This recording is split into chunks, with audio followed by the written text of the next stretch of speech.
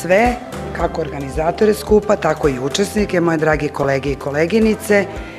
Dolazim sa Instituta za kardiovaskularne bolesti Dedinje i rad koji ću vam prezentovati je u stvari rad onoga što ste juče čuli na jednoj visoko naučno-tehnološkom nivou i istraživačkom naravno, a moja koleginica Jasna Racić i ja smo se potrudile da kroz ovaj rad to prezentujemo na jedan pragmatičan i jedan konstruktivan način i približimo našoj struci.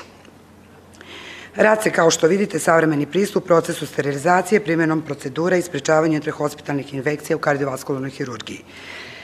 Što se tiče kuće iz koje dolazim, Institut za kardiovaskularne bolesti Dedinje ima visoke zahteve u sprečavanju e, prodiranja patogenih mikroorganizama kao i onemogućavanja razvoja intrahospitalnih infekcija. Juče smo dosta toga čuli, intrahospitalne infekcije, čuli smo i brojke i pacijenata i novca koji se daje za to, a ono što možda ovaj, ne znamo, a, sada je trenutno prihvatljiva definicija, to je da se intrahospitalnim infekcijama podrazumeva ne samo infekcije koje se pojave 48 sati nakon prijema u bolnicu, nego i infekcije posle 30 dana posle hiruške intervencije ili 90 dana nakon hiruške intervencije gde su plasirani određeni implantati. E, što se tiče naših visokih zahteva, oni proizilaze, znači, najviše zbog pacijenata, jer pacijenti koji dolaze kod nas na institut u osnovi svoje bolesti imaju između ostalog da ne pričamo o starosnoj dobi, znači i diabetes koji je veliki problem i koji je veliki, mislim, rizik, ovaj visoki rizik za stvaranje intrahospitalne infekcije. Znači, posebnost tih zahteva je u odnosu na pacijenta, specifičnost hirurgije koja je vrlo invazivna i indikacijska širina primene veštačkih materijala. Posledice intrahospitalnih infekcija su naravno nesagledive, kako medicinske, tako ekonomske, pravne i naravno ono što nas naj, najviše interesuje etičke. Kroz celo školovanje smo imali, nadam se da smo svi prošli kroz to, onu čuvenu ovaj, izreku non primam nosere, ne naškoditi. I to je naša osnovna stvar. Šta su zapravo procedure? Trenutno smo u toj situaciji akreditacija kuća, neke su to prošle, neke su u toku, neke to čeka i mi uglavnom sve što je novo onako prilično skeptično prihvatamo. Međutim, e, pošto sam bila u tom timu, smatram da je to jedan veliki korak za našu struku, jer ono što je Dejan juče rekao, validacija, ono što nije zapisano, nije ni urađeno. On je rekao sterilisano, ali ja kažem za nas zdravstvene radnike nije ni urađeno. Šta je zapravo procedura? Procedura je utvrđen postupak radnje, aktivnosti, zadataka, koraka, odluka koje kada se preduzmu u zadatnom redosledu daju propisan rezultat. Praćenje procedure proizvodi ponovljive rezultate. Pisana procedura obezbeđuje sigurnost i konzistentnost. Procedura se može poboljšati naravno u toku rada nad gledanjem i obezbeđivanje njihove neprestane upotrebljivosti u procesu rada. Zapisane procedure Iako smo juče pozivani na pitanja, na diskusije, kad god smo hteli neki protokol da pitamo zvaničan vezano za nešto što nas interesuje, otprilike je bilo da li je to u toku, da li se radi, pa zato kažem da zapisana procedura na čemu moramo da insistiramo svi i ono što će nas jako štititi, znači su u stvari instrukcije, smernice onoga što mi u stvari već radimo u procesu rada koji obuhvata standarde kao prihvaćen kvalitet koji ne sme da ima nedostatke. Procedura mora imati cilj, definiciju, sadržaj aktivnosti, dokaz, dokumentaciju. I procedure kad se urade tako na visokom nivou mogu se prihvatiti čak i kao nivo metode. Imamo sada e, procedure profilaktičkih mera asepse i antisepse. Koleginica je pričala o asepsi i antisepsi. Neću se tu zadržavati. Vrlo dobro znamo šta je antisepsa i asepsa. I jedino što ću da naznačim da je osnov asepse u stvari sterilizacija. Sterilnost je naravno apsolutni pojam i ono što moram da naglasim što je privilegija naših kolega širom sveta, pogotovo pričamo o Evropi, mi smo u Evropi, oni imaju Robert Koch naučno-istraživački institut koji je osnovan 1891. godine u Berlinu i odgovoran je za kontrolu i prevenciju bolesti i evidenciju problema vezanih za primenu smernica prekida lancija infekcije kao što su dezinfekcija, sterilizacija i vakcinacija. Čuli ste juče u e, definiciju sterilizacija osim ono mikroorganizama i tako dalje uvela se ovaj termin prioni. Oni su već otišli da su na osnovu tih istraživanja od ovog istog instituta koji sam pomenula došli na to da su najbezbedniji ako povećaju minutažu procesa sterilizacije i da na tek 18. minutu ubijaju prione. A čuli ste, oni su već u tome da li ti prioni osim što znamo šta izazivaju, da li su čak i uzrocnici pojave Alzheimerove bolesti, Parkinsona i tako dalje.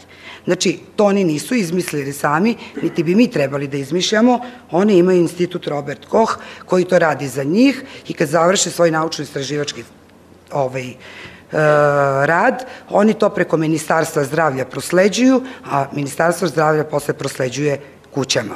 Nadamo se da ćemo i mi doći u tu situaciju. Proces sterilizacije. Isto smo juče čuli jako mnogo puta da se ne ponavljamo. Ono što bi naglasila, da razlikujemo sterilisan materijal i sterilan materijal. Znači, sterilisan i sterilan. Pogledajte ove gore faze. Znači, imamo čišćenje, juče smo čuli koliko je to bitno. Pakovanje, koliko je bitno. Sam proces sterilizacije, pa posle toga skladištenje i upotreba. Znači, sve su ovo karike koje su procedure sama za sebe.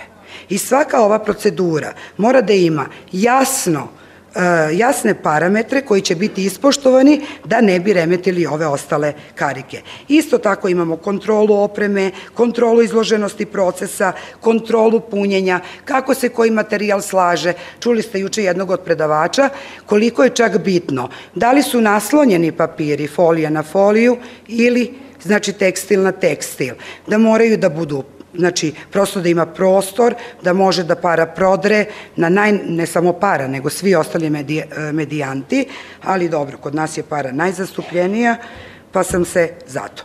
Evo, ja sam vam ovde pokazala jedan primer sadržaja aktivnosti procedure kontrole procesa parne sterilizacije. Znači, to je procedura koju smo mi već akreditovali. I šta je bitno za nas. Ono što sam rekla juče, što je bilo na nekom nivou naučno-istraživačkom i tehnološkom, evo, to je ovde kod nas. Kod nas postoji procedura parne sterilizacije od momenta aktiviranja aparata, znači šta to podrazumeva, evo da sada, mislim, ono to ne govorim, imate na slajdu, znači, imate proces rada aparata, znači izbor programa, materijal kako je upakovan, vođenje računa o količini i kompatibilnosti materijala, startovanje aparata i kontinuirano praćenje, hemijska kontrola, procena odsustva vlažnosti. Čak i ako sve prođe, mi moramo videti procenu vlažnosti. Znači, ukoliko ona ima, znači da to dovodi u sumnju. Kontrole sterilizacije znamo svi, koji smo, uglavnom su ovde kolege vezano za operacioni blok, imamo fizičku kontrolu, čuli smo juče, mi stalno pričamo o pritisku, temperaturi, vreme trajanja sterilizacije, juče smo recimo, ne juče, mislim ja sam to do duše i ranije, ali juče je jako puno naglašavana kvalitet pare. Znači da je to još jedan parametar koji je jako bitan za fizičku kontrolu. Što se tiče hemijske kontrole, Vi znate, to je uglavnom Mikulićeva traka, imamo sada ove fabričke indikatore, ali oni uglavnom razdvajaju sterilan od nesterilnog materijala radi bezbednosti u radu. Ono što je bitno, mislim i što je najvalidnije, to je biološka kontrola sterilizacije. Ona po ovaj, e, zakonima i propisima bi trebala da se radi svaki dan što se tiče plazma sterilizatora ili na sedam dana što se tiče parnih sterilizatora, ali ovaj, videli smo da su politike kuće te, u stvari naša ekonomska situacija, parametar kako to koja kuća radi.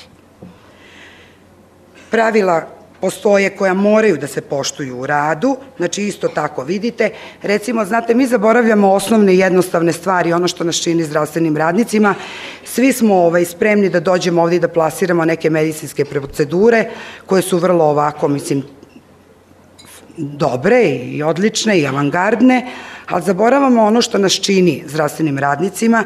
I recimo juče smo možda imali da vidimo, to sam odavno ovaj, nisam videla, koliko je onaj var bitan – koliko je taj var bitan da on bude znači adekvatan, da se sve iznad vara obeležava, da se ne obeležava ništa po onoj mikrobnoj barijeri koja može na taj način biti kompromitovana, da se ne piše po onim setovima, znači čim se stigne, da jednostavno ne dođe do toga kada hemijskom obeležavamo, da ga perforiramo i to je jedna sitnica, ali vrlo bitna, pogotovo za nas koji radimo svakodnevno sa tim.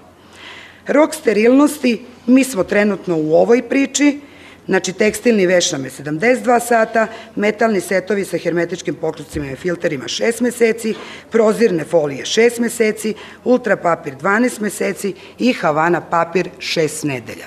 To je ono što smo mi sada trenutno dokumentali i po čemu se vladamo. Ukoliko drugi kažu da može i više i to nam sertifikuju, mi ćemo i to prihvatiti.